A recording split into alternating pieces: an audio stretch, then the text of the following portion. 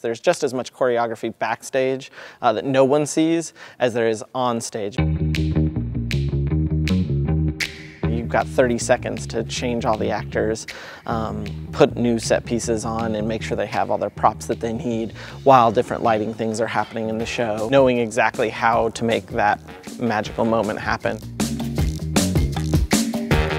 Um, we have a coffin that, that stays upstage that they roll on young C in the show makes the shot every time and it's like no one realizes like it's like oh is he just that good at pool? So there's just the the fishing line that you can't see from the audience that just pulls so we know that he makes it each time. Movie can you know transition pretty easily because they are in a whole new place. Um, with live theater we have to make people think that we're in a whole new place but we're really all just right here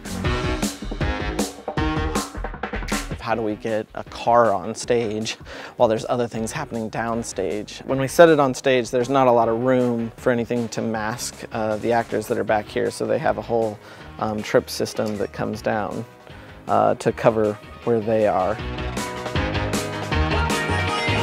There definitely is a culture and a, a, a community that's built backstage.